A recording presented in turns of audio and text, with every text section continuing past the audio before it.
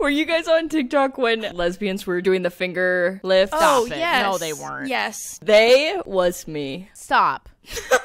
you have a device for this? No, it was just a weight that I was holding with two fingers and doing curls. That's wrong. Homosexuality is a sin.